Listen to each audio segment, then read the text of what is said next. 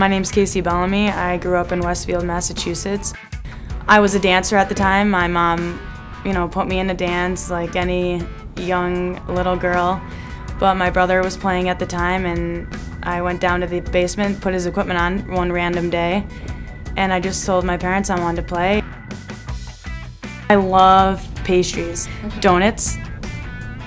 Ask any of my roommates, ask any of my teammates. We have this homemade um, donut shop in Boston. It's called Twin Donuts.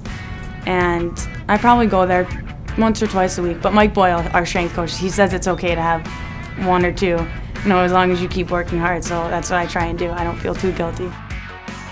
It's been an amazing, amazing journey with USA Hockey. Just being able to be around the girls and all the veterans and people that I've watched on TV and being around them day in and day out and getting to learn from them, that was the biggest part. And my favorite thing is being around the team. And now that I'm older, getting to, you know, learn my leadership role and become a role model for younger girls on the ice, I'd like to think that I'm pretty competitive and it rubs off on some of the younger girls.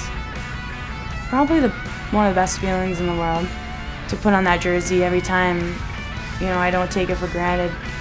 Um, to play for your country, it's like we say, it's playing for something bigger than ourselves. You can just tell when we step on the ice that we're all in it together as players and coaches, and we just want to give it our all.